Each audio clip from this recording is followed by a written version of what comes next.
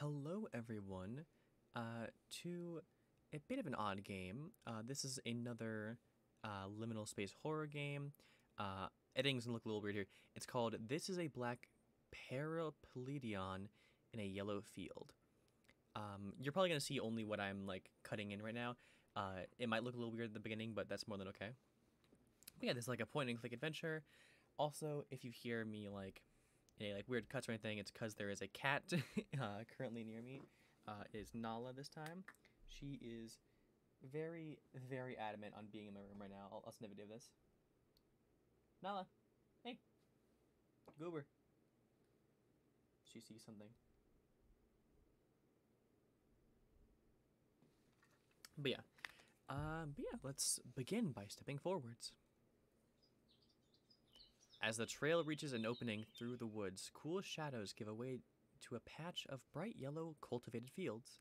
It is the perfect summer day. Mature wheat sways in the wind. This succession of woods and field has happened before, and it will happen again. On the horizon past the farmland, you see a dark line of trees. It too will fade in the yellow expanse. Let's look at the shadows. As the trail reaches an opening through the woods, okay, the shadow of something stirs. Okay, dark line of trees. A sign of rustling of thoughts. Stay focused. Okay. Take your first step back under the sun on this narrow dirt road that joins the wood to the fields again. Some 20 meters to the side of the trail, a lone ash tree breaks the waves of wheat. It is one of two intrudes in this yellow world. Further out, the field's order is disturbed by a simple geometric structure which function you cannot quite interpret. So be it. You do not know many things. The earth is soft under your feet, still damp with yesterday's rain. Insects buzz their insecrutable tradrations with grace. Breathe in and fill your lungs with the world, which smells of soil and grass. Hurry up along the path. Though I am going to choose to stare at the structure.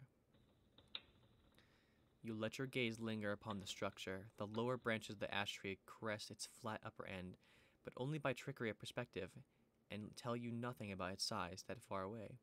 The sea of wheat absorbs all distances, which certainly you can assert that it is black, homogeneous, rectangular, thrice as wide as is tall. You thought slip, circling the edge of the black chasm. No, climb back to the sun. No, click it. Dim thoughts, the black tranquility under the blankets. Go south, go north, go east, go west. We'll go north. Dim thoughts, ghostly sparks across an old phone lines. We'll go back. Let's go east. Dim thoughts, furious strokes of black pen blotting out the page. The old words are drowned. Go west. Dim thoughts, the black tranquility under blankets. Go south. Dim thoughts, a garden and novel at once. You know how that one goes. Dim thoughts, dark shadow, shade, a black, a cavernous void, a place to fall, the crack in the bottom of the lowest thought. You are filled with dark shadow, shade, black from the top of clockwise, like so. Dark, shadow, shade, black. Over and over and over again. You stand in the darkness. I'm going to take a photo of that because I may need it. Okay, let's go north. Dim thoughts, the darkness of our words. Go north. Dim thoughts, shadowed leaves. Are we here? I guess that's where we are. Uh, let's go northeast. Dim thoughts. This is not it. Okay, go back. Oh, this is a different place. Um, let's go south. Uh, dim thoughts. The darkness conferred to words printed on a page where none alone is marked in a different color. Let's go north. Dim thoughts. Shadow leaves. Go east. Dim thoughts. Shade cast on a house when the sky overhead is still bright. Let's go northwest. Dim thoughts. Deep and vast. Go back. Go east. Dim thoughts. The surface of that obsidian pendant hanging on the wall in your grandmother's room, the way its black surface always felt like it was hiding its secrets under snowflake shaped quartz spots. Let's go west. Dim thoughts. Shade cast on the house when the sky overhead is still bright. Let's go northwest. Nothing. East. Dim thoughts. The surface that is pendant. Okay, same one west. Okay, south.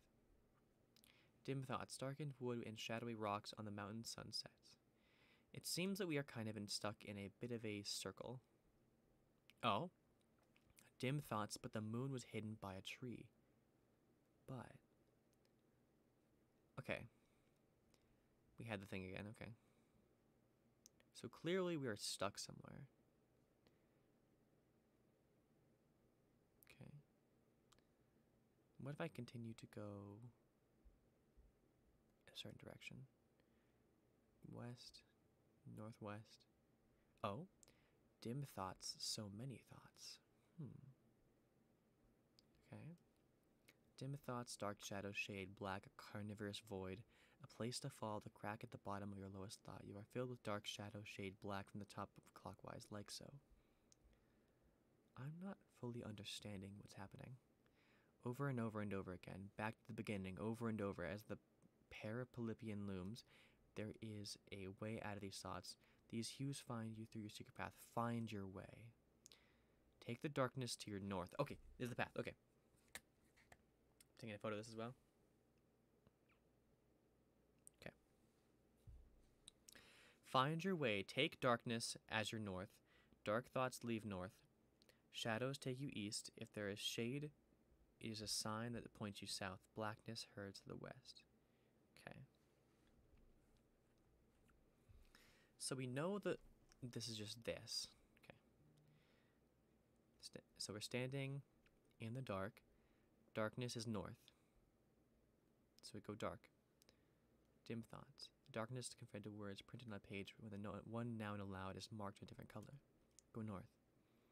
Dim thoughts, shadowed leaves. Shadows take you east.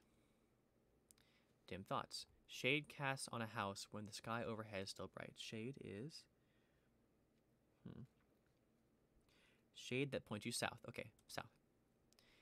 Darkened woods and the shadowy rocks. Shadows take you east. Ooh, there's two. Okay. Darkened woods, shadowy rocks, and mountainsides. Is there a darkened one? Darkness to your north. Northeast. Dim thoughts. The streetlight casts a world of dancing dashes of reds and pinks and yellows, but there is such a vast cosmos of vivid shade beyond it. Okay, so I think it's gonna be two. So shade, which is south. I don't see anything else. Okay, so south. A blank blackboard, rows of equally fresh erased. Oh shit. Okay, is there a blank one? We'll go west. Okay, black liqueur, unscribed. Okay, uh, bl- blackness is west. Okay. Dim thoughts. Furious strokes of black pen blind the ink page. Drowned. It's still west. Yeah. Yep, still west. Darkness in the tunnels dug by worms. Still west. Deep shadows and deep caves. Shadows take you east. Dim thoughts. Darkness in tunnels dug by worms. Darkness is north. Okay, dim thoughts. When the film is over and the screen goes dark. Why say question go west? Hmm. Take darkness at your north. I'm gonna continue. North. Dim thoughts. Dark shadows on the highway. Far away from the city. You walk alone. No cars light the way go. Bright thoughts. A yellow field, of mature wheat under the perfect summer day, its surface broken only by the majesty of an old ash tree. Open your eyes. And thus, with your eyes wide open, the truth is the world. You see a black periplyon in the yellow field, and still you grasp at nothing. Thoughts are drawn into its mass, but fail to coalesce around it, as if crashing against a steep black wall. A purple state of mind floods the sky. Exit. Mountain's dusk. A trail coasting the mountainside. Clouds gather underneath, filling the valley. The sky is restless. A wind blows. Elena and Adele are wearily making their way back down one slow step after the other. The way is treacherous, but their mind is elsewhere. A contrarian gust ruffles follows th- f- ruffles their hair. They pause, resting their backs against the mountainside. Elena, I can't do this anymore. Blink. Consider the enigma of the fields. Something moves under the ash tree. An arm rises into a slow stretch. Someone has been resting against the trunk, hidden by rows of wheat. As you raise your head to get a better look, you see the tip of a trucker hat, faded by the sun, and a glimpse of a brown rubber gas shows among the roots. Is this the field's owner, or a hired hand taking the break from a hard day's work, or a hiker like you, defeated by the midday sun, or by the, well, you know. The wind howls down the creek. Exit mountains. Continued. Their breath is still heavy. Elena, I do not understand what you need from me. I need you to understand. Understand what? You wouldn't get it. Ah. This pause. The conversation has died a thousand deaths, but I do still not understand. Again. Wheat grows and grows and grows vigorously. You make your way to the faint trail in the wheat. The crops brush against your legs. You wave a polite greeting to the resting figure, who turns to be a man in his sixties, strong jaw, deep wrinkles baked by the sun. He does not seem to come all the way out of his nap yet, but he has regained enough awareness to wave back at you and offer a warm smile. We can ask, Hello, if it's not a bother. I have questions regarding the structures in the middle of your field, perhaps comments. Ask, Hello, forgive me, but I have questions pertaining to the matter I would like to better understand. Ask, My good man, you have noted the massive black thing in the middle of your field. Ask, What a lucky chance meeting. Before I get to core of this matter, which one thing? Do you happen to work here? Ask, Hello, sorry for disturbing you. Can you tell me what structure is in the middle of your field is? Or, Good day. That over there wouldn't happen to be the brutalist bus stop of, or a mirage or a pile of coal, would it? Hmm. We just met this man. Let's ask him if he works here. You feel it in the purple of your bones. Zeno's paradox of language. Is it ever possible to get to the point, or are we lost in the ruins of a resurrective halfway states? Pebbles echo down the ravines. Exit mountains. Continued. Adele. Elena, now you listen to me. If at any point in this miserable pile of days we call in existence I would have put into position to feel even one emotion, I, Elena says, staring at the ravine underneath. Nasty things, those. She gets a grip of herself. When she speaks, her tone is composed like an officiant's, Adele says. It would crack this rock we are standing on, and I would fall down to the depths of the sunless cavern, too far away from the world of the company of bats and newts. Elena says, Where's the cavern? Oh, it's is deep. But where? Where does it lie? Why? No reason. She kneels down to look under a pebble. There are holes everywhere in these mountains, layers of soft limestone dripping away. The fields, the fields, a soft line of trees stands guard in the horizon and looks the other way. The man shoots a curious glance your way, but does not show any signs of answering. From his placid demeanor, it looks like your question evaded him entirely. You may want to reformulate your question in a simpler way. Maybe he's still sleepy. Maybe he doesn't understand your language. Ask Lily, Big black box, what does it mean? Point very clearly at the solid and ask, What's that? Question, What is black? Mimic sitting on the tree and fearfully running your thoughts. You don't want to go back into the darkness. Trace a rectangle in the air and an interrogation mark with your other hand. Interesting is that if I ask slowly, big black box, only some of it is here. Now remember, these are different directions. Long cube.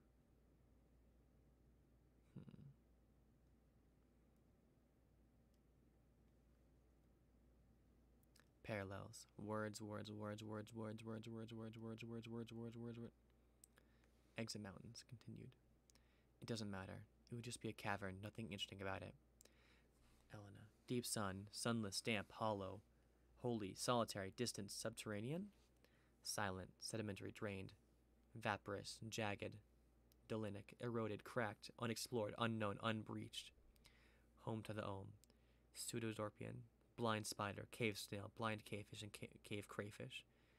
What were we talking about? Do not lose your way. Weed grows and grows vigorously. It seems to be the same. A bee of sweat rolls on your temple. You may want to formulate a question.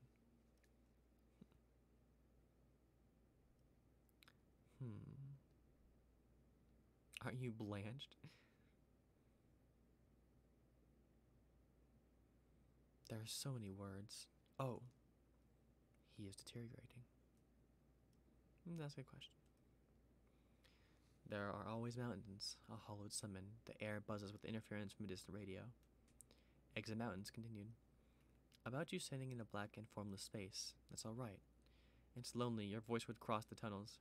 There are no words down there. Softly to herself. There are barely words in this trail, all the wrong ones. Useless synonyms, never reaching the snare. Elena, scream then, and you will come, always.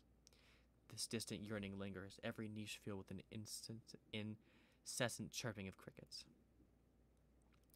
The man shoots another glance your way. You stare in the distance, anxiety grips you. You may want to reformulate the question again. Think, think. Hmm. These words are getting more and more incomprehensible as we get further in. What about snails? Cry. At this point, it changes nothing. The wind howls down the creek. Mountains continued. A trail coasting the mountainside, two women disappear in the silence and layer of clouds together. Leave them to their lives. Come back. Come back, come back. The wind howls down the creek. A headache germinates from the base of your neck. Your mouth is dry. The ash tree rustles in the breeze, leaf brushing against leaf, participating in the creation of a sound that has no intent nor message. No living trees fell with the Tower of Babel. One last attempt. Gather these precious foments in the safe cavity of your mouth. Push them against your lips and your palate.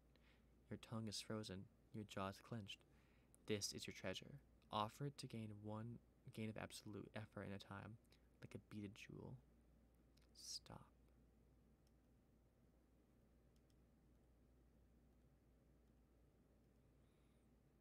A dictionary bursts into fire. Blink. A headache germinates from the base of your neck. Hmm. It seems we need to spell something else out.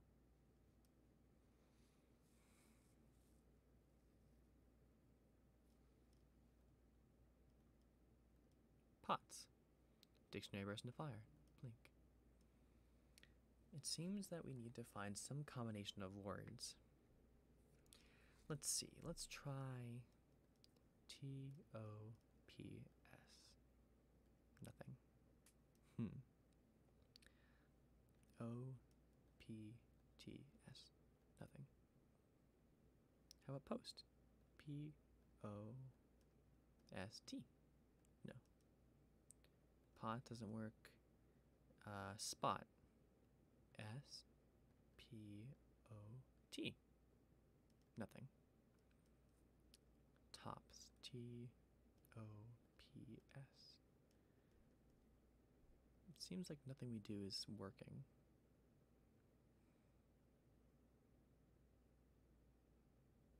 Hmm. Are we just stuck here?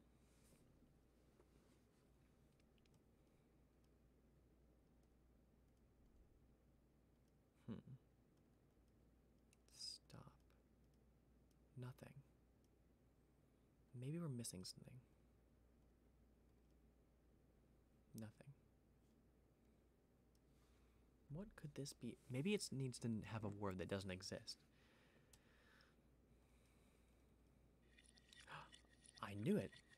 Bazaar, says the man, perking up with a jovial smile. He slaps his elbow in his wisdom with a touch of conspira- conspirational flair. He tells you that, as you know, there is only one thing left to do venture deep into the sea of wheat. There is no way back now. Wheat grows and grows vigorously. Don't look back. No way to go but forward. Whatever this may take you, push on and on. So you walk through the wheat, following the distant black monolith like the morning star fixed across the sky, every niche filled with incessant chirping of crickets across the sky. You walk a brilliant black plateau, leaving the no trace of smooth, hard ground.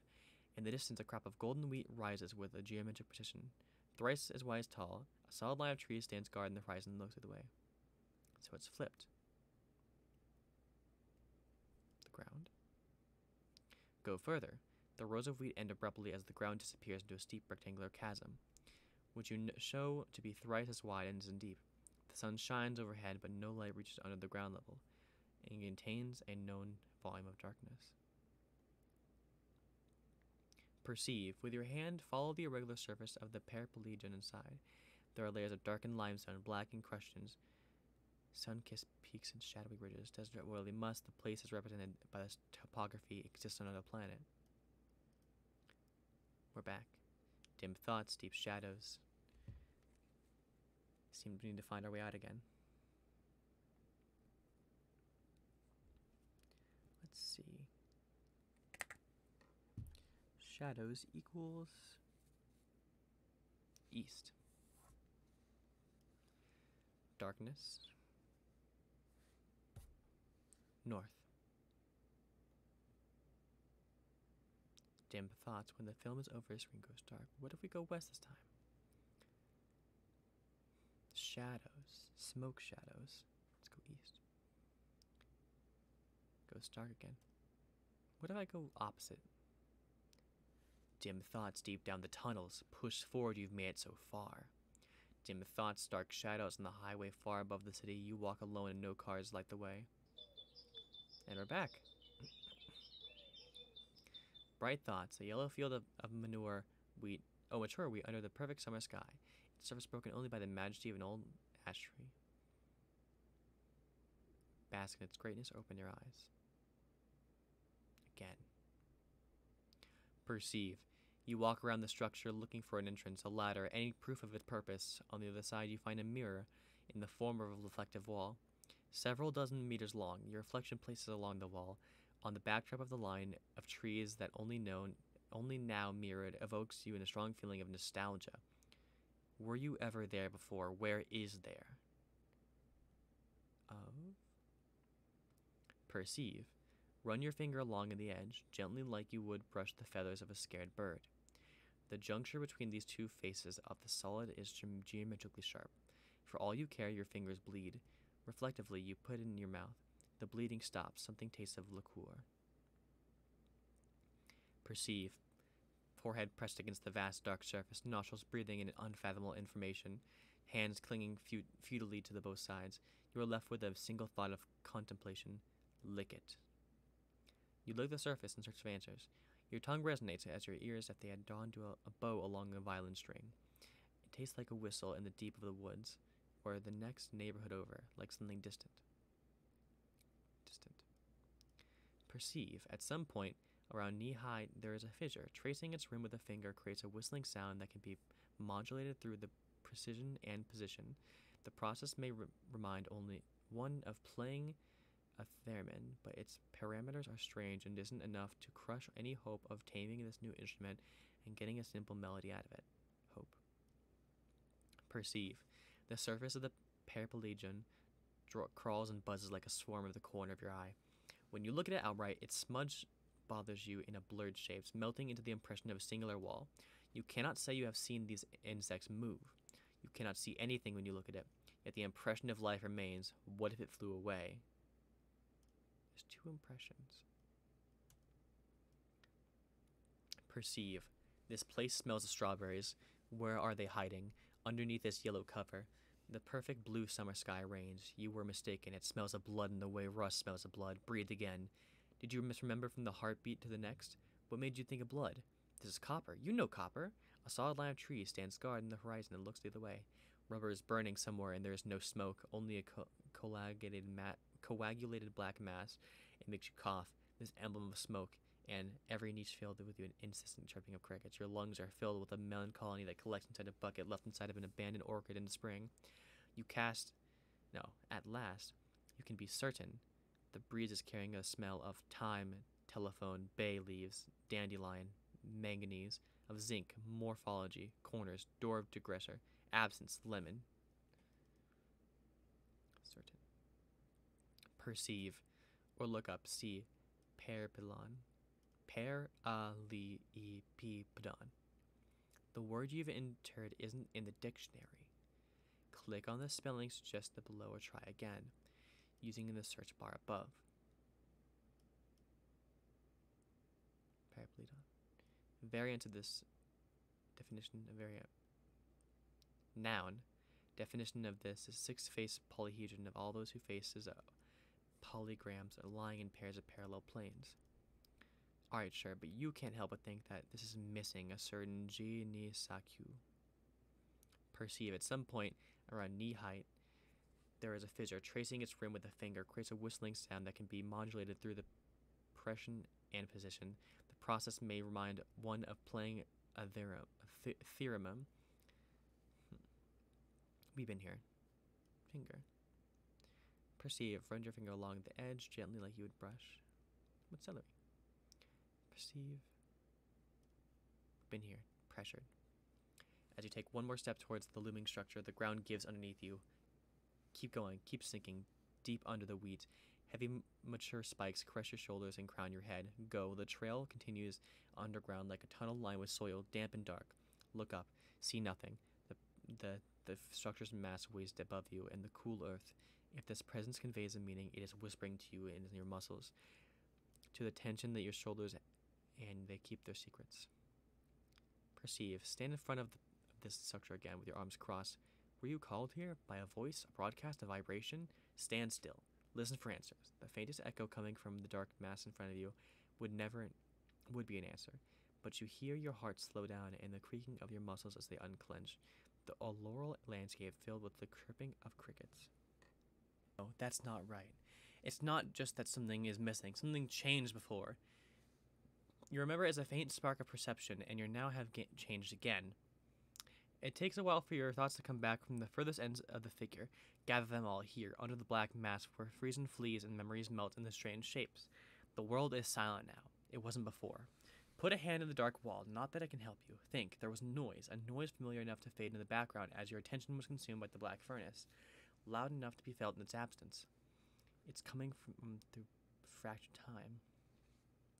It's your ringtone. It was your ringtone which hung in the air that went silent again. Check your phone. Past the wall of emails and notifications, you missed a call, unknown number. Call back or ignore the missed call. Call back. Call back. The figure looms overhead, engulfing you in all your attempts at sense making. The phone is not ringing yet. Ongoing, outgoing call hanging in the air, searching, asking, urging, pushing through. At last, you hear the dial tone. It rings, keeps ringing. Six seconds pass. No, ten seconds. No, a million fifty-three thousand and eighty-six seconds pass. No, the clock remains shattered. Your phone falls silent. Your hand feels empty. Leaning against the wall. Look at your reflection. Your reflection looks at you. Your reflection looks at you and blinks. Look at your reflection. Your reflection looks at you. Look at your reflection.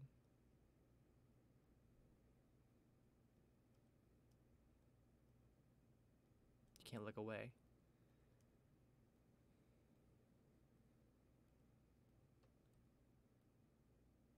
When at last, at last, if only you had another mirror and the resulting infinity world crack, infinity would crack in this thing in an instant. You know that under the nails and between the toes of your feet, considering using your phone, the darkened screen, not the front camera, that may have data loss. If only you had another mirror. Okay. At last, sense in this economy? At last, what are you waiting for? Oh. Can I read this? Yes. You could have just kept going your way, but you but you know that. But big solids can be a little stubborn like that, a little persistent. It must be something about mass, but by their very nature, you outrun them easily. This doesn't matter. It really doesn't.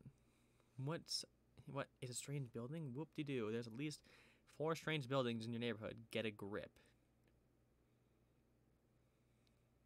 Hmm. You could just keep going your way. Okay. Every niche filled with the incessant chirping of crickets, wheat grows and grass. Consider the enigma of the fields at last.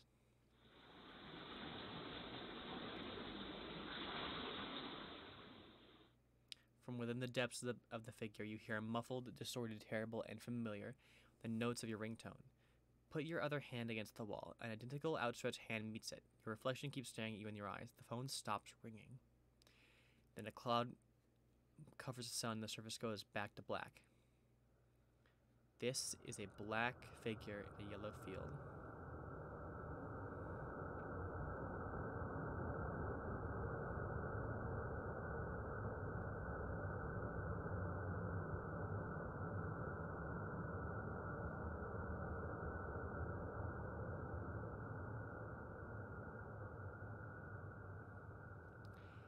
That, creatures and cryptids, is the end of this episode. I'd say for a small like running in browser game, that was pretty interesting. It felt very Eldritch in the way that uh, it was presented. I'm gonna try my best to combine this small snippet with the rest of it. Uh, but yeah, thanks again everyone for joining, and I hope you guys have a wonderful day. Stay safe, y'all.